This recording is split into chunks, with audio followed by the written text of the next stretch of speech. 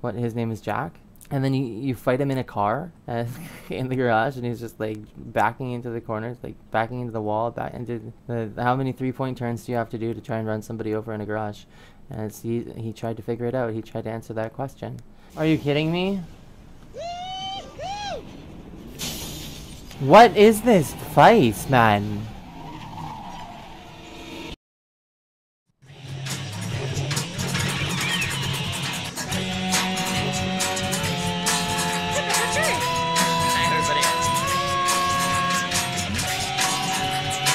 The? I've been spotted. I. Ah!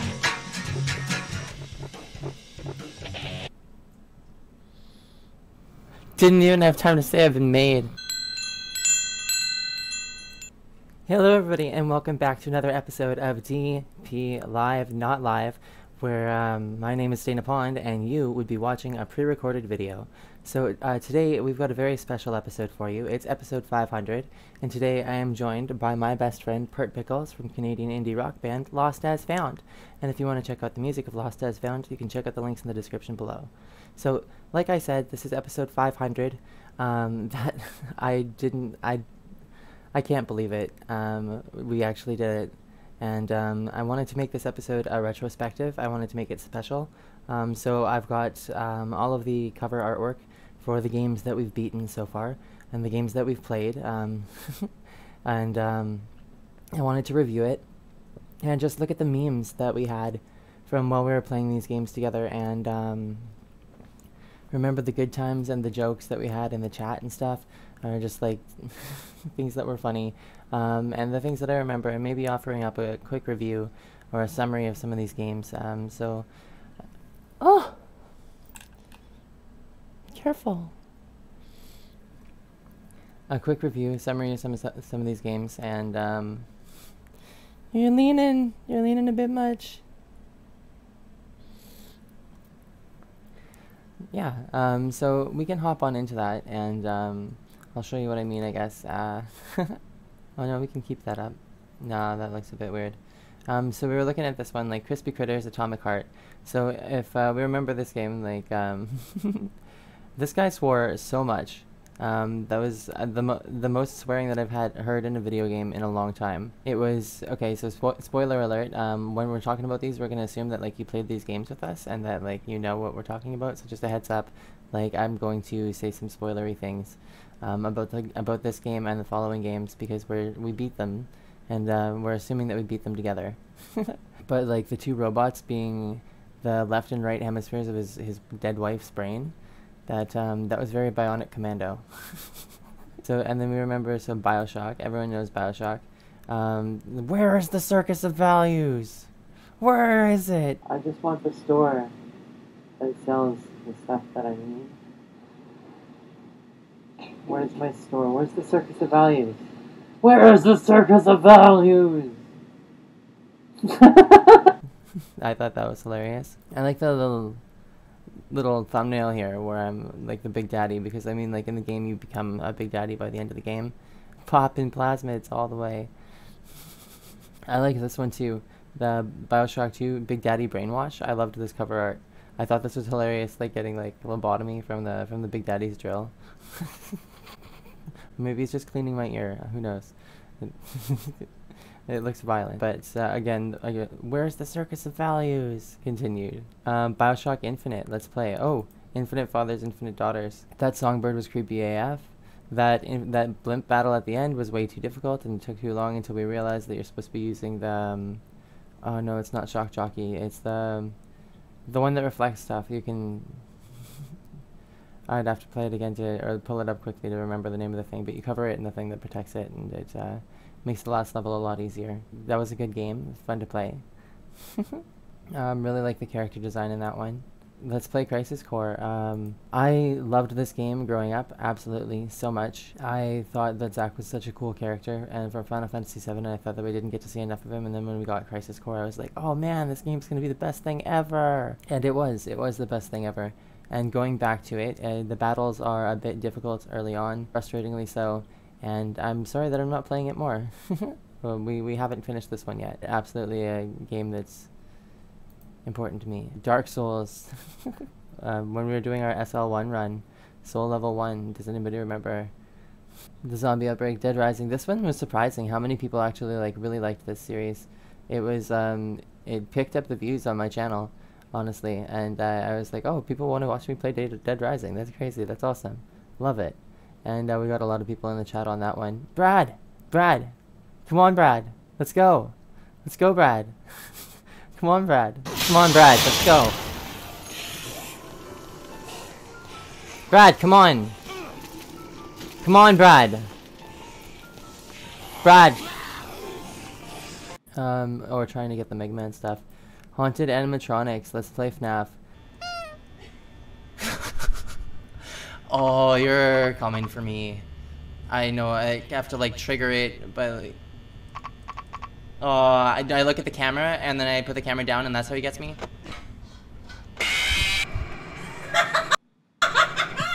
I think probably my favorite FNAF game is FNAF 1. Um, and or FNAF Security Breach. Haunted Animatronics. I don't know, I, I like this cover. I like this thumbnail. I like this art.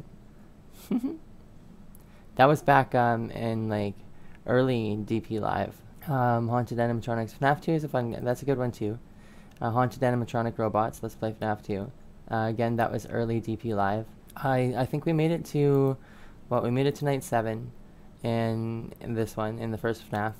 And we made it to night 5 in FNAF 2, right? I think I'm remembering, I hope I'm remembering that correctly. This one, so frustrating. Uh, stuck on night 4. Uh, here he comes, check the vents. it's Springtrap. For for a game that only has one person who can actually like get you, he's he gets you surprisingly often. I am so stuck on night four, and I I've looked up like walkthroughs, guides, tips, and strategies on how to beat it, and nothing that I can come up with. and uh, same, yeah, sister location. I scream, you scream, we all scream for FNAF streams. and actually eating ice cream here. What can I say about Sister Location? I like this one. It's it's I like the aesthetics. I like the it's it's creepy. It's creepier. It's the the whispery voice, whispery robot voice is creepy. It's eerie. Um, I hate the Minireenas so much. Minireenas for days. Siri overheard me say that I hate the Minireenas, and said they don't understand. um, oh, yo, it's FNAF Security Breach. Um, no, I think this one is my favorite FNAF game. I like FNAF 1, but I to play, I F FNAF Security Breach is my favorite one to play.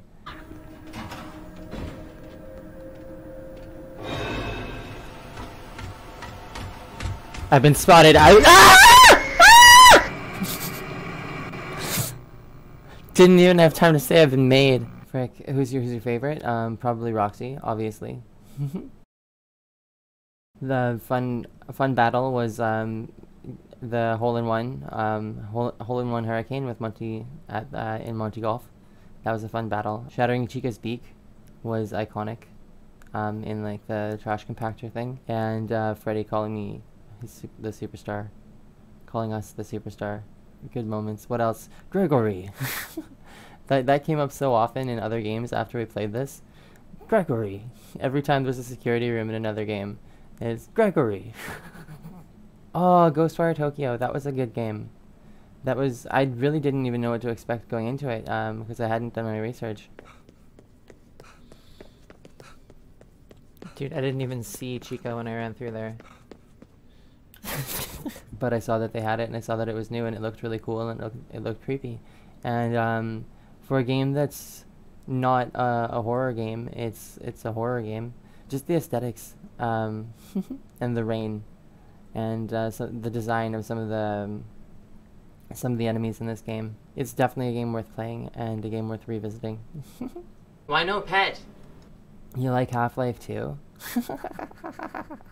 I wish that this picture was a little bit higher quality, but it's it's for a thumbnail. Um, yeah, I love Half-Life 2. I grew up on Half-Life 2. I had it on Xbox, and then um, once I had a computer that could handle it, I had it on there. And then I bought the orange box. Um, I love Half-Life 2. I've played through it over and over and over again. and we don't go to Ravenholm. Hi-Fi Rush. That was a fun game. Um, I really liked that, and it was a bit buggy. What can I say? Bethesda title oh, without getting It was a bit buggy, but it was a good game, and um, it, I liked the music mechanics a lot. I loved I loved the character design. Um, the whole team, they were all just like endearing characters. For a game that like was I don't know, you progress through the stage and you battle the guys. You progress through the stage, you battle the guys. It for that. Uh, as a as a game design layout, um, it, it didn't get boring. Um, the battles were the battles were continuously interesting, and there was always like new stuff being added, and like lasers. friggin' lasers. You had and you had to get good at blocking. Like you had to learn how to play the game. It, it forced you to learn how to play the game and use the mechanics that you were given. And I liked that about Hi-Fi Rush. Chai. High on life. okay, I really liked this video game. Um, I know that in our playthrough of it, the first couple videos, the audio from the game was quiet, and I'm sorry for that. I've been considering replaying High on Life. Um, if you guys want me to replay High on Life, I, I would. Um, it was a solid game. I liked um, the jetpack. The jetpack was probably my favorite thing about it, just like flying around and using the jetpack in the game to look at stuff, um, because there's a lot of stuff to look at, and it was a very visually com- like compelling and interesting game. Yeah, I, I don't remember too much Mimi stuff. I know the talking guns were hilarious, um, and when when we finally unlocked that gold, the commercial at the end. Um, I wanted to platinum High on Life. I thought it was a game worth. Uh, oh, do we say platinum for Xbox? Uh, I wanted to get all of the trophies uh, for High on Life. I thought it would be worthwhile. That one was a fun one, and the again the character design was really interesting. Um, Hollow Knight. We're still playing through this one. Um, this game is adorable, and I love. It reminds me of old Flash videos um, done right, and it's it's like um an HD Flash game um, with Dark Souls mechanics. and um, like it's difficult but rewarding. It's challenging but fair, and it's really again just like visually compelling. Uh, it's good. the bright colors um, for a game that's in underground and in the dark. It's got a lot of really pretty things to look at and a lot of things that glow and shine. And um, we do need to play more of this game. Life is Strange. I really wanted to take a stab at that game like myself. Um, I watched the, the theorists play it, and I absolutely loved this game, and I wanted to get my hands on it. And uh, so we did a playthrough. Uh, we saved Chloe, which is uh, the obviously correct choice. I don't think we had many memes while we were playing it. I think people took it rather people were just watching. Uh, it was another popular one on the streams. Like people enjoyed watching the let's, the let's play. It's a great game. the portal gun, it has no charge. Yeah, I thought that was the perfect place to use that. You would want to you would want to do that on Portal. It's the only time that you can.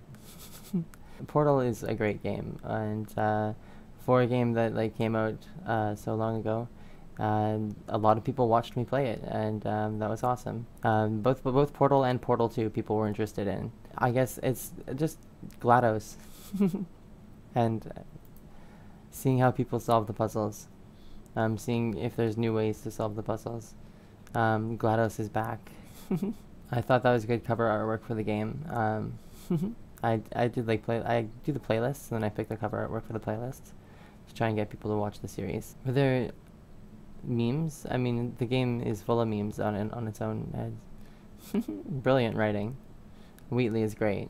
Uh, Prey, neuromods are evil, is what it says. Yeah, neuromods are evil. I, looking back on it, I liked Prey. Uh, while I was playing it, I didn't like Prey. I got frustrated with the mechanics and the floating around in the free space and the trying to find stuff and getting injured while I was like in free space, floating into stuff too fast. Um, that part was frustrating, um, but it was free space, and I should have appreciated it more because it's here in space. Yeah, I wished that I could have enjoyed it uh, as much as other people did. I did enjoy it, and I, looking back on it, like it was creepy, and it it was weird and new and in spacey, and um, it kind of I, I don't know what it reminded me of. Um, it it was unique. Uh, I wish that I didn't get as frustrated with it as I had, uh, because I, I, wanted, I wish I could have appreciated being in space more. Leon or Claire, let's play Resident Evil 2. That's what that one says. Resident Evil 2, that was, I mean, for for a remake, um, I, that was a phenomenal game. Um, fun to play. Yeah, uh, what, what is there to say? It's Resident Evil. It, it was awesome. It was a great game. Uh, uh, trying to unlock everything and get all of the guns and like solve all the puzzles is, I mean, you want to solve as many like all of the puzzles before you finish the game. Zombie shooting title with uh, great writing. and let's play Resident Evil 3. Um, I liked getting to know Carlos. The Nemesis, what a crazy guy. Um, he had so many forms in this game. It was really unreal. It was, it just they just kept coming. That this isn't even my final form. That's uh, exactly this. He just kept coming back, and and, and same with, oh man, um, I thought that they really did it right and did it well with the mechanics for these games. Um, they played like the old Resident Evil games, um, but they handled um, almost like uh, well the the third person shooters. Um, but uh, I just thought that they they were really tight, really well done. The alternate um, artwork uh, for Resident Evil 3. Um, I did this for the last video in our fight with Nemesis. Um, so it was this this artwork for the whole series up until the last video, like the finale, and this was for the the last boss fight. and um, Resident Evil 7. Oh, that was a fun one. Okay, what what the heck? Again, uh, talking about speaking of people who just don't die. What his name is Jack, and then you you fight him in a car uh, in the garage, and he's just like backing into the corners, like backing into the wall, back into the. How many three point turns do you have to do to try and run somebody over in a garage? And he he tried to figure it out. He tried to answer that question. Are you kidding me?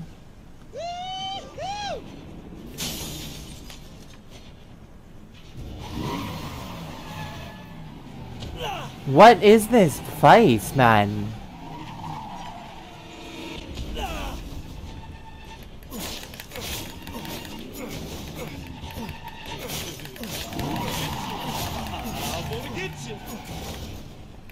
Um, yeah, the mold and Evelyn and like, I remember you see her um, throughout the game and like she's at the table and um, she's in one of the rooms when right after like they they basically gave it away at one point.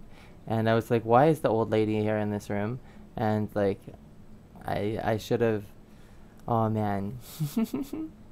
Should have said should have spoke up should have said something but like that was the point where they just straight up gave it away that like it's the old lady i like the mold aspect um new directions for Resident Evil. Okay, Resident Evil Village. This is most recent for us. Yeah, um, so Resident Evil Village, that was a fun game. I like the story. I like the idea of it being a book. The, what was the Village of Shadows? I don't quite understand how it's like Rose in the four flasks or the four little vial chamber things. Are we to assume that they like chopped them up and put them into the four things? Or like, probably.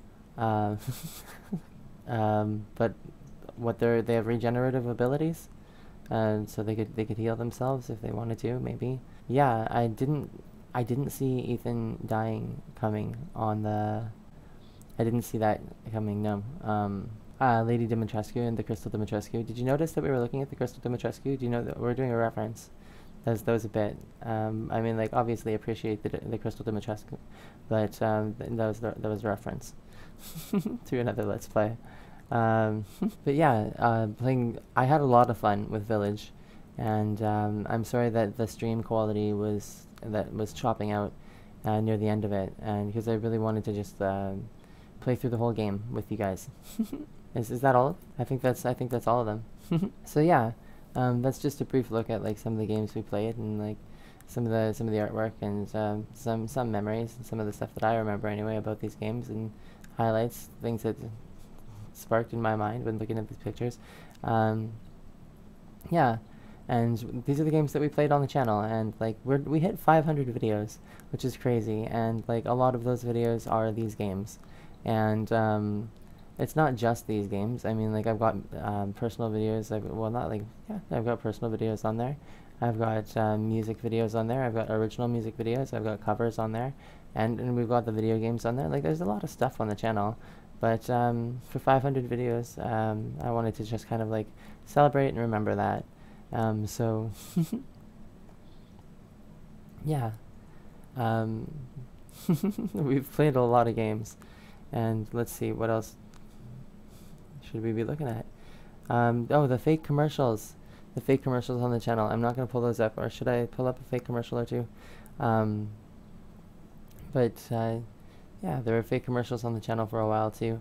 And there were rants. Um, there's a bunch of stuff to look at. But uh, thanks for watching, thanks for hanging out, and thanks for playing video games with me and Pert. And uh, just remember that uh, my name is Danna Pond, and that you watch this DP not live, um, not in real time, but on a pre-recorded video. And uh, like again, this is my best friend Pert from Canadian indie rock band Lost as Found. And if you want to check out Canadian indie rock band Lost as Found, you can check out the links in the description below. Um, if you enjoyed this video, click the like button, and if you want to catch me next time that I go live, um, subscribe to the channel and uh, ring the bell to turn on the notifications, and um, you will get a notification when we are going live, and you can come talk to me live in the chat, um, because if you catch me in the chat, I will catch you in the next episode. So, thanks for watching. Um, not a stream, but a pre-recorded video, a pre-recorded video for you. Bye-bye.